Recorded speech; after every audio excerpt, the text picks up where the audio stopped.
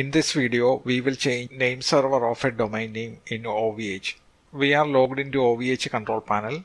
To see the domains, click on Web Cloud, click on Domains, search for the domain name you want to change the name service, click on the domain name, click on DNS service, click on Modify DNS service. The domain currently use following two name service dns200.anycast.me ns200.anycast.me.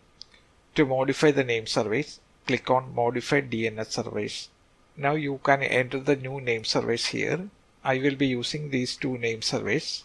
Paste the name server, copy the second one and paste it. Now you can save the name service by clicking on Apply Configuration. OVH is now deleting the old name service and adding the new name service. This can take some time. You can see the progress in recent task. Domain DNS update, the status is planned.